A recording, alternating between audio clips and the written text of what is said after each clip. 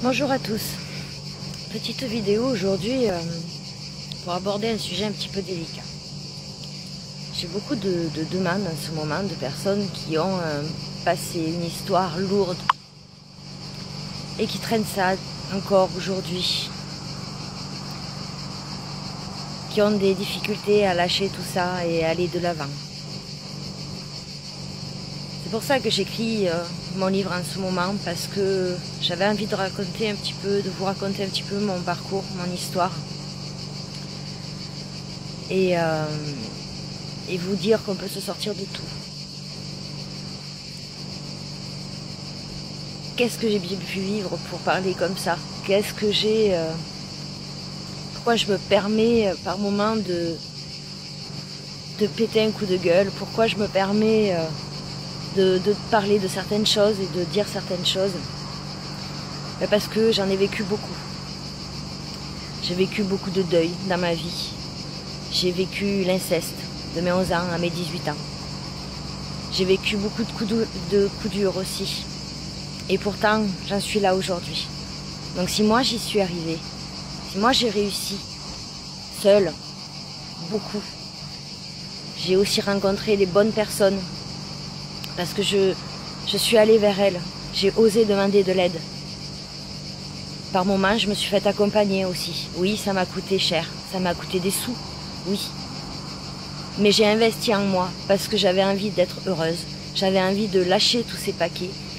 Et, euh, j'avais envie de savourer la vie comme euh, finalement je l'ai toujours savourée, mais avec toutes ces embûches au milieu.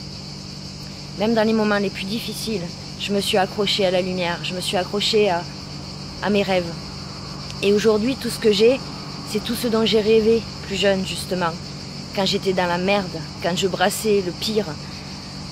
Pour m'en sortir, pour rester en vie, je m'accrochais à mes rêves.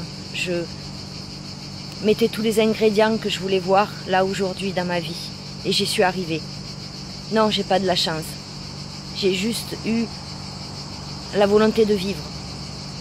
Et j'ai toujours cru que j'y arriverais. J'ai toujours cru en moi. Et si je l'ai fait, moi, si je suis passée par tout ça, si j'ai réussi à, dépasser tout ça, vous aussi. Tout le monde peut le faire. Quel que soit le paquet, quel que soit le, paquet de merde qu'on traîne, tout le monde, toi, toi et toi, tout le monde, vous en êtes capable. Simplement, sachez vous faire accompagner le temps nécessaire par les personnes qui vous feront vibrer, en qui vous aurez confiance, je ne parle pas simplement pour moi, je suis toujours là pour vous, mais voilà, allez vers les gens qui vous font, qui vous donnent confiance, qui, par leur euh, vécu, euh, sauront vous guider aussi.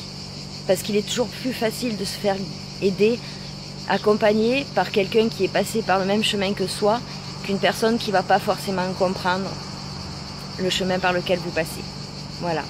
C'était un petit mot de motivation et un petit coucou au passage sous les cigales.